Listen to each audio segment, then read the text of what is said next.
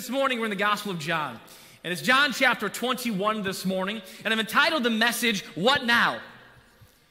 Because at this point in John, Jesus has completed his earthly ministry. He has ministered to thousands, if not tens of thousands. He has performed countless miracles. He has fed 5,000 and 4,000 plus women and children. So upwards of 15, and add the two together, perhaps 30 to 50,000 people have been fed by Jesus Christ. He has cast out demons from multiple individuals. He has healed countless diseases and infirmities. He has even raised a few people from the dead. His ministry concluded largely in part when he was crucified, and that'd be John chapter 19. In John chapter 20, we read about the resurrection of Jesus Christ. My friends, the gospel is that Jesus Christ, He's the Son of God, and He came to earth to die on the cross for the sins of the world, and that He was buried and rose again the third day. You see, Jesus Christ, if He had not died on the cross, He could not be the Savior for the world. But if He had not risen from the grave, He could not be the Savior because God promised that He would die and rise again. So, my friends, Jesus Christ is alive. In the resurrection, some ladies went to meet him early Sunday morning, or not to meet him, to, to kind of treat the body, and they were surprised when the tomb was empty. The angels there spoke a few words to them, and, and Mary interacted with whom she thought was a gardener, was actually Jesus Christ. From there, she went back and ran to tell other disciples, Jesus Christ is alive. Most believed, but remember Thomas, he was one of the ones who didn't believe at first. Jesus Christ then appeared to his disciples a few different times. He appeared in the room where they were gathered. They were all apparently afraid, and, and maybe rightfully so. They had just crucified Jesus Christ, and, and so maybe they feared that they'd also face the same fate. And in this closed room, Jesus Christ appears. He even eats. He shows he can eat bread and, and fish, and he eats and demonstrates that he is truly risen. And then we come to John chapter 21. Jesus Christ has not quite ascended, but this is right at the very end. In John chapter 21, we're going to ask the question, what now? We're going to see in this passage of Scripture that sometimes the disciples of Jesus Christ stop following Jesus Christ. And I wish in my life and your life that that would never be the case. I wish that I could say, hey, ever since I trusted Jesus Christ at six years old, I followed Jesus Christ every single day. I wish I could say that, but I can't. And I would imagine if you put your faith in Jesus Christ, you can't say that either. I imagine if you're honest, like I'll be honest, we'd have to say, no, there's some times that we ask this question, what now? There's some times I questioned. There's some times I wondered. There's some times I flat out said, you know what, right now and do my own thing. Anybody else with me this morning? Am I all alone up here on stage? Do I stand in your judgment this morning? You're like, wow, Pastor, you're a really bad guy up there. That's all right. We're going to read about these disciples who talked with Jesus Christ, who hugged on Jesus Christ. In fact, John in the book of First John says, Our hands have handled. They've hugged him, they touched him. And yet, right now, they're going to walk away from Jesus Christ. There's an old children's song, an old song that says, I have decided to follow Jesus, no turning back, no turning back. Though no one joins me, still I will follow, no turning back. The world behind me, the cross before me, no turning back. And this morning, as we look at this passage of Scripture, I'm speaking to all those Christians who have ever felt this question in their mind what now? I've hit disappointment. I've hit discouragement. I've hit a problem. It wasn't what I expected, so what now? And let's see what the Word of God gives to us in John chapter 21 because God's Word is infinitely practical and touches us right where we're at. So let's please open to John chapter 21, and we'll look at the first 17 verses in John chapter 21. The Bible says this after these things, Jesus showed himself again to the disciples at the Sea of Tiberias, and on this wise showed he himself. There were together Simon Peter and Thomas called Didymus, and Nathanael of Cana in Galilee, and the sons of Zebedee, and two other of his disciples. Let's pause real quick. These are some disciples, aren't they? These are the well known disciples. These are not some random followers. These are not some who just picked up Jesus along the way. These are ones who had lived and breathed and ministered with Jesus Christ. Simon Peter, if I can, the spokesman of the group. The sons of Zebedee, James and John. John, the writer of the Gospel of John.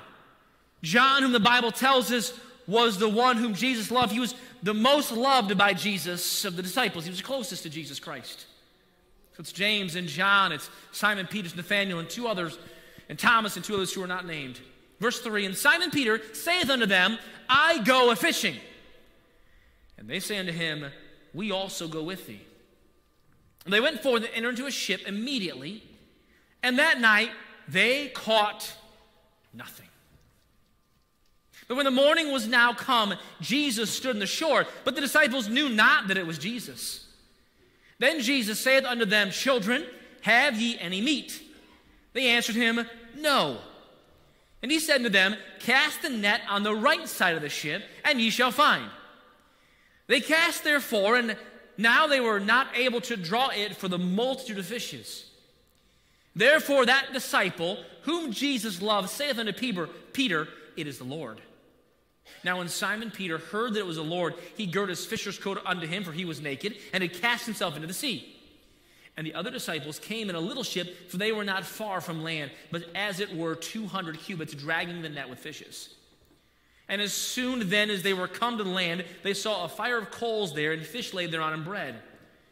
Jesus saith unto them, Bring up the fish which ye have now caught.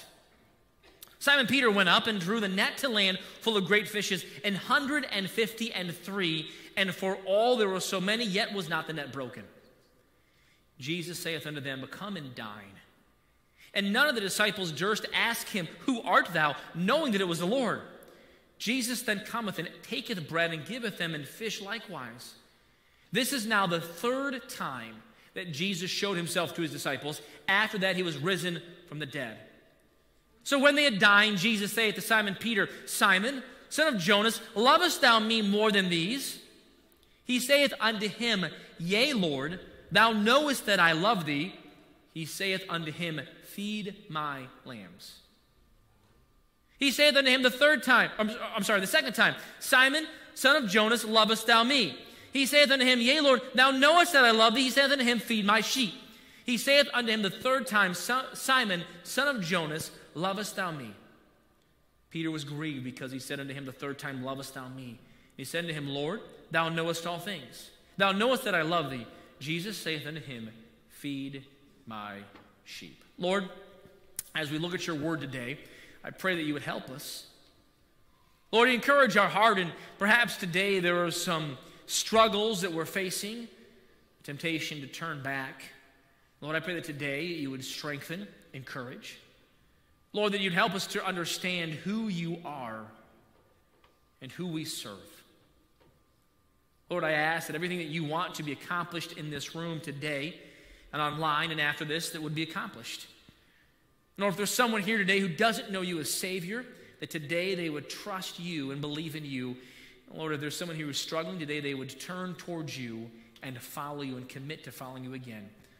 we love you. We give you the praise and glory in Jesus' name. Amen. What happens after people follow Jesus for a while? It seems that at first someone will get saved and they'll trust in Jesus Christ. They'll believe on the Lord Jesus Christ and they'll be saved and they get on fire. There's a passion, a fire that burns brightly. They're telling their coworkers, they're telling their friends, they're telling everyone about Jesus Christ. They experienced perhaps some, some life and some vitality. The chains of bondage and some of the sin that bound them, they, they break free from it. And they're excited and they love coming to church and they love being around the children of God and they love preaching, they love singing. And, and after a while, what can happen? The fire that once burned brightly begins to dim a little bit.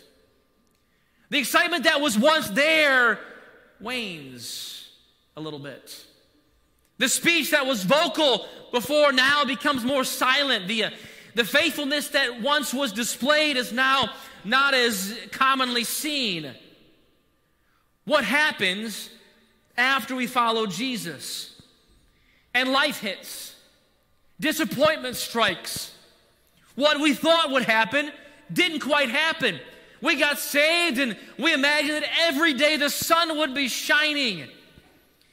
And yet, after we're saved, sometimes there's clouds. We thought after we're saved that there'd never be another storm in life. And all of a sudden, we're in the tsunami, hurricane, storm of the century of life. And we're drowning.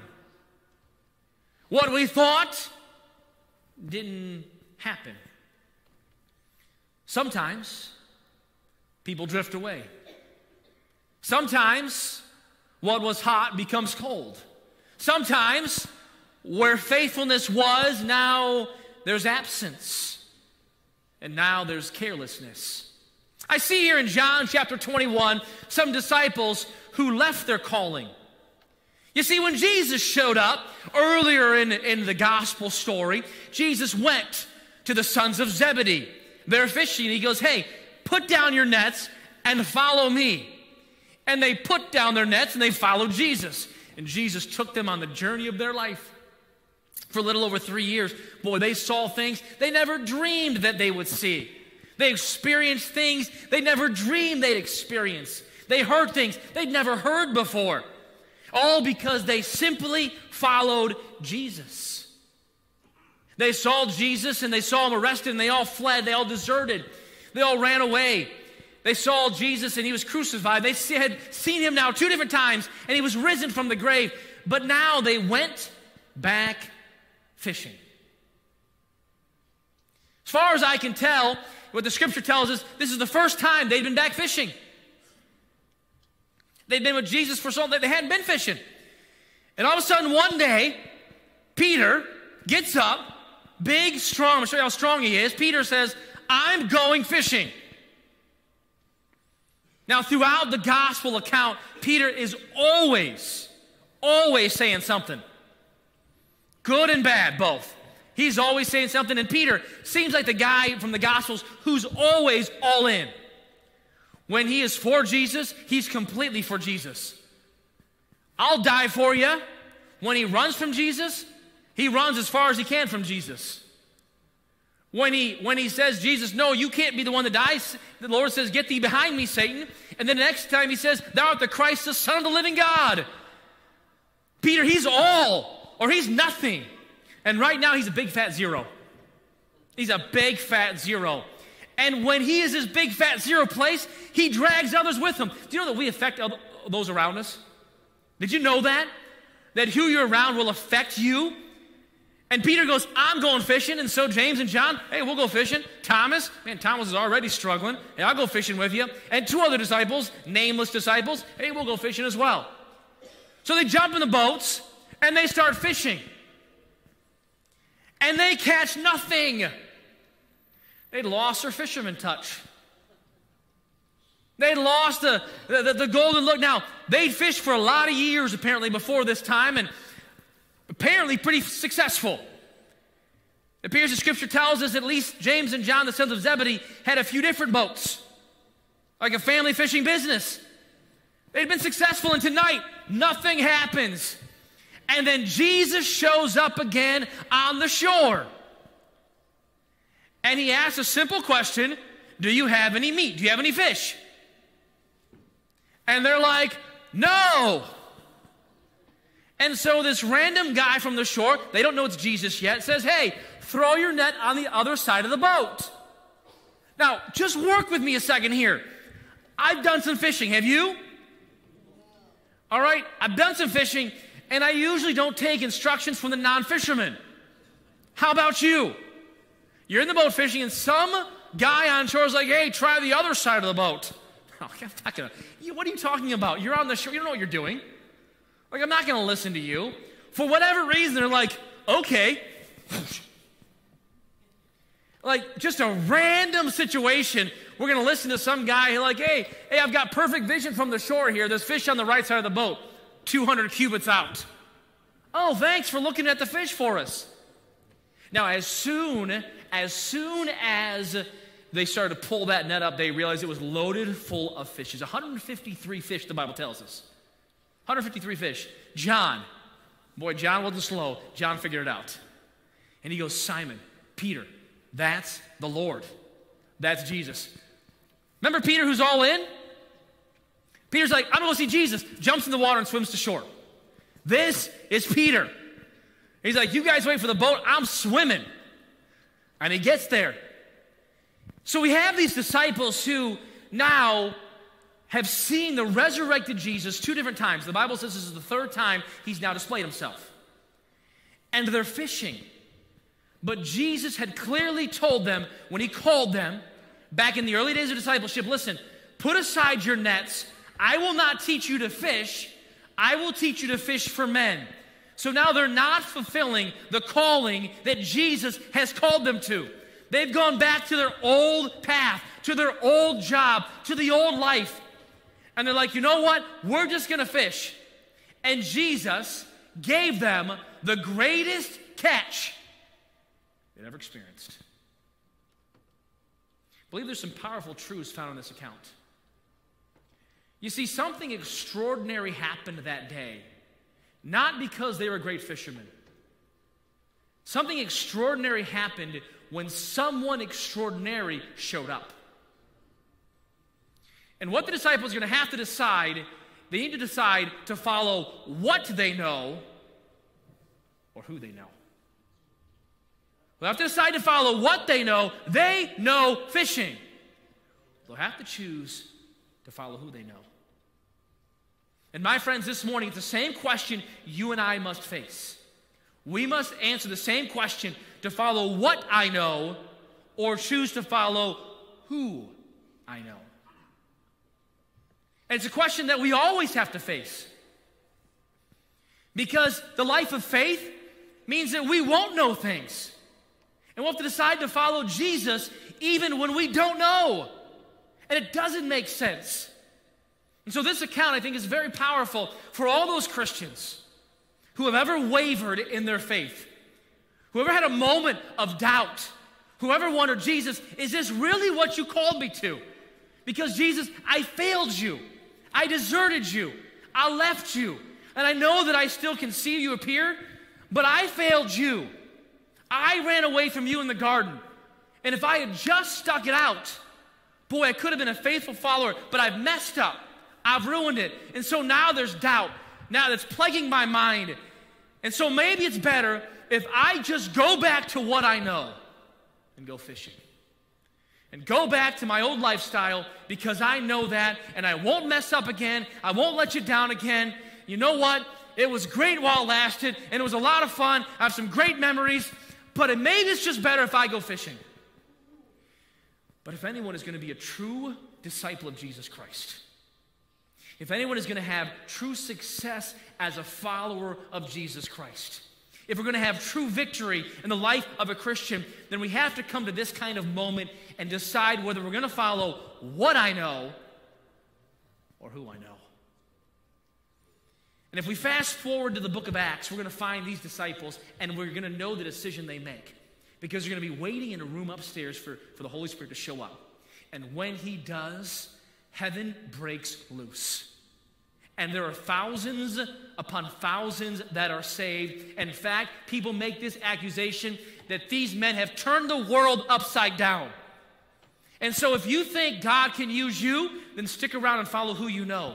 If you think that God can still turn the world upside down, which He can, then you have to follow who you know, not what you know. And this little blip in the disciples' story, I think will help you and me. Let's look at the story, and I'm going to give you three keys to following Jesus Christ. Three keys to following Jesus Christ found here.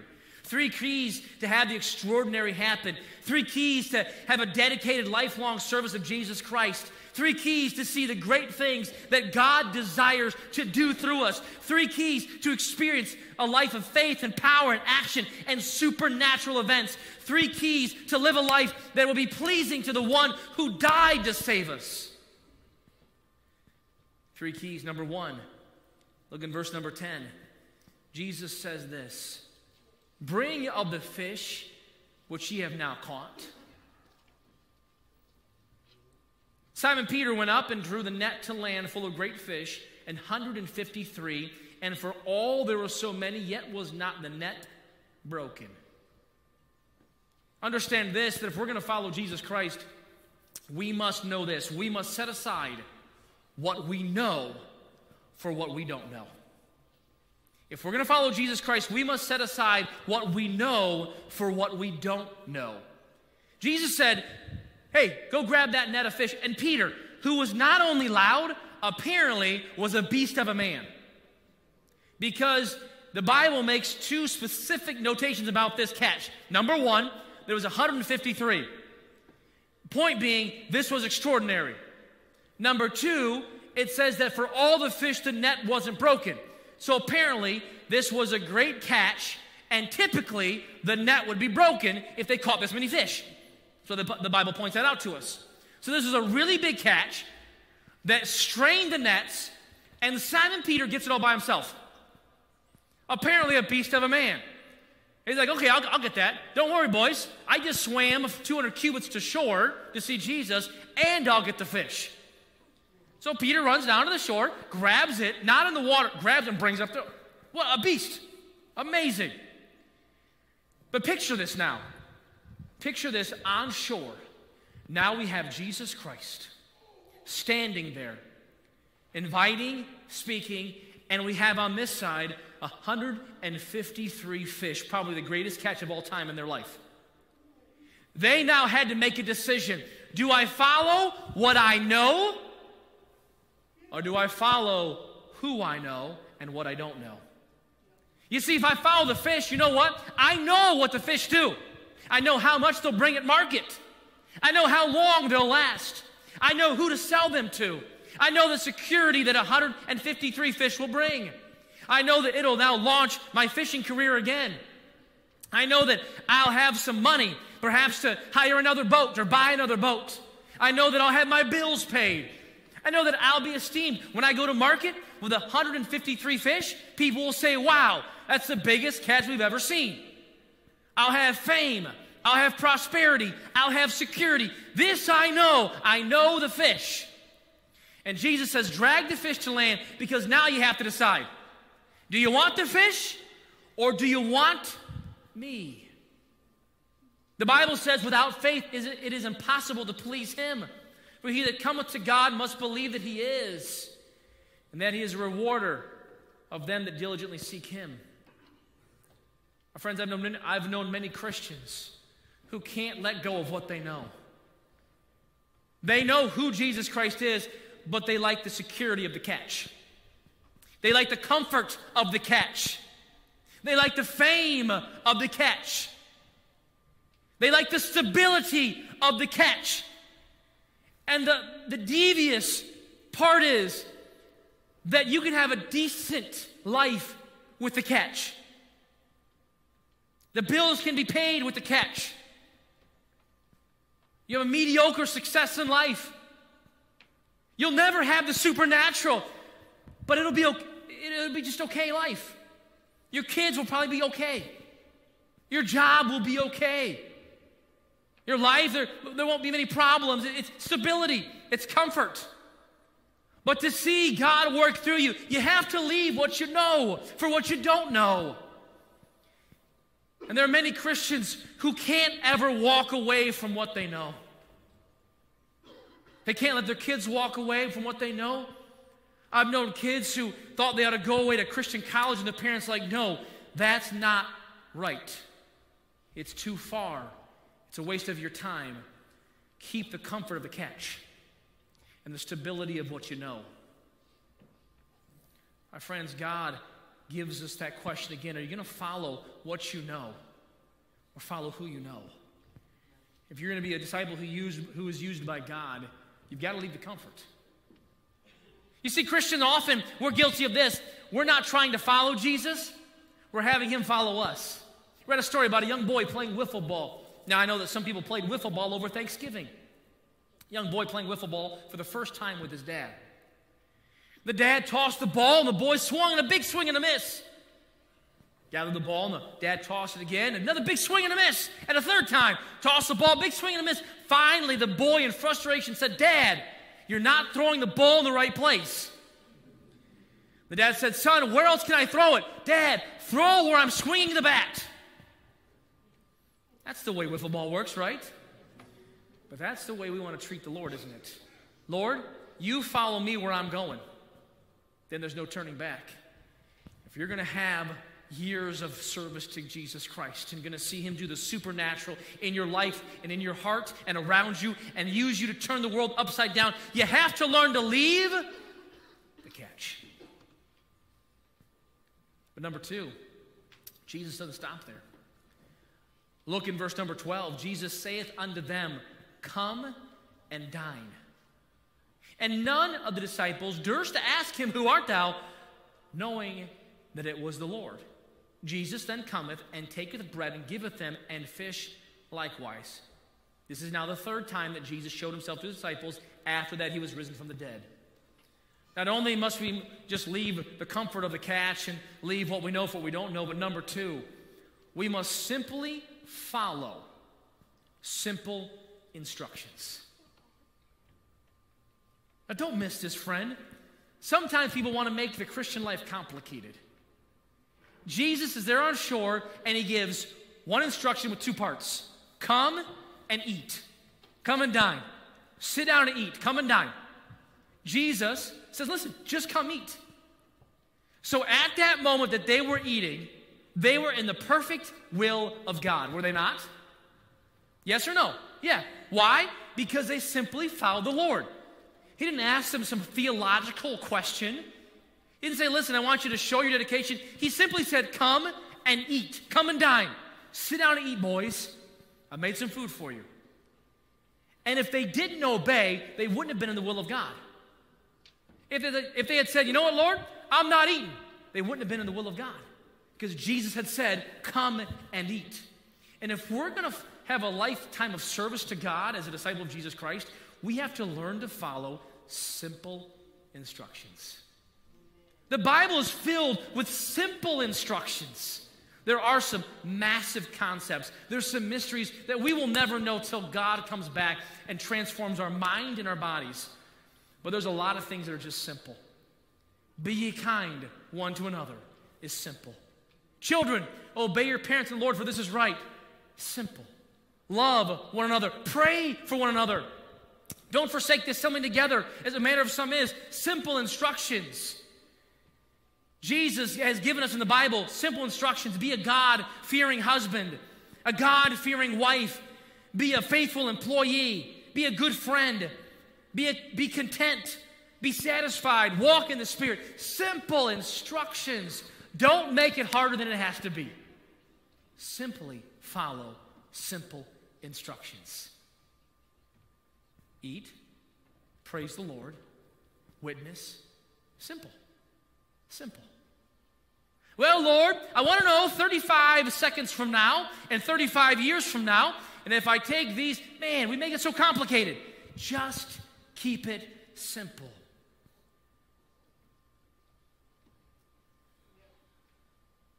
The Christian life is not like an IKEA piece of furniture. If you ever bought something from IKEA, you know exactly what I'm talking about.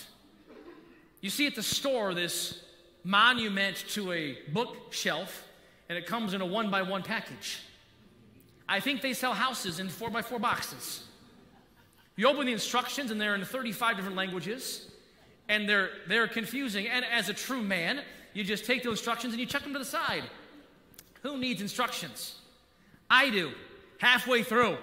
You're like, man, that shelf should have gone on a little bit earlier in life.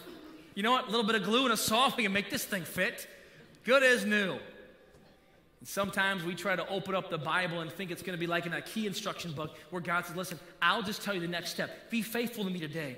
Have faith in me today. Trust me today. Follow me today. Today, go to church, eat lunch, come back to church, pray, seek me. Follow simple instructions. And number three, oh, and this is key. Number three is key. Not only must we set aside what we know for what we don't know, not only must we learn to follow simple instructions and simply follow simple instructions. Number three, we must realize that God's forgiveness is greater than my mistakes. This is Peter. There are sermons inside of what God did with Peter. But Jesus asked Peter three times, verses 15 uh, through, through 17, Peter, do you love me? Do you love me? He used different words there, but ultimately he was trying to get Peter to understand Peter, I can still use you. Peter, you are not done for me yet. Peter, your mistakes are not greater than my ability to forgive. Peter had pulled himself out of, uh, uh, out of the contest. Peter said, Listen, I'm done. I've messed up too much. I'm not worth it. And that's what the devil would like you to think. And yet our pride says, Well, I can only come back to Jesus when I can figure it out. God's well of grace must have a bottom to it, we reason. We think a person can only request forgiveness so many times. And then God's grace runs out. But my friends, God says, listen, you can access me for grace and forgiveness every day of the week. And as you write that check, it never bounces. It never bounces. You'll always find my forgiveness. You'll always find my grace. And if you're going to follow Jesus Christ, you must realize that God's forgiveness is greater than my mistakes. And someone could have said to Peter, Peter, you deserted the Lord. And Peter would have to say, You're right, I did, but his grace is greater than mine mistakes. Paul echoes the same account. Paul says, I've killed for Jesus, yet his grace, God's grace, greater than Paul's mistakes. And the story echoes throughout the centuries that God is greater than anything you can do. Any mistake you make, any problem you have, any error in judgment or decisions, God's grace and forgiveness is greater than my mistakes. And if we're stuck here in our mistakes, we'll never get to see the supernatural power of God. I have decided to follow Jesus, no turning back. Simple song. 150 years ago, or over 150 years ago, there was a great revival in Wales. During this revival, many missionaries were called to go to, the, to, the, to East India. There was a little place in East India that time called Assam. It was primitive, full of tribes who were headhunters and cannibalistic. But to one of those communities, there came a group of American Baptist missionaries spreading the message of love and hope and the gospel of Jesus Christ. And in one particular tribe, they succeeded in seeing a man converted, his wife, and his two children.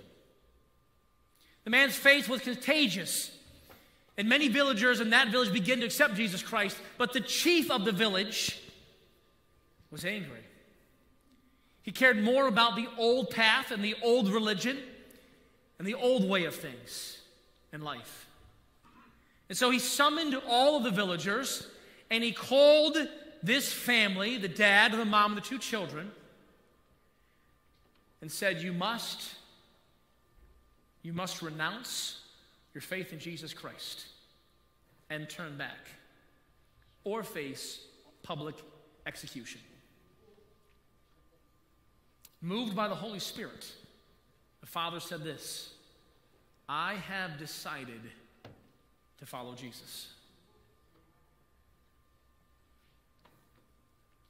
Enraged, the chief ordered that the archers shoot the two children, which they did. With his children now deceased at his feet, the chief asked, Will you deny your faith? You've lost both your children. Will you lose your wife also? The man replied, Though no one joins me, still I will follow. Chief was beside himself with fury, and he asked, commanded the archers to kill the wife. and she was shot. Chief that asked the man one last time, Will you now also turn your back on your faith or risk your own life? The man responded with these words The cross before me, the world behind me, no turning back. And he was killed. But something happened. With those deaths, the chief was moved. He pondered the question why would a man and his wife and his children choose to lose their life for some story about a man who lived in a faraway place years and years before? There must be something to it. The story, the account that I read goes that eventually the chief said, I too want to become a Christian. From him, the gospel spread not only through that village, through countless other villages. And it is from that tribal interaction that we get the song, I have decided to follow Jesus. No turning back. No turning back. Though no one join me, still I will follow. The cross before me, the world behind me, no turning back.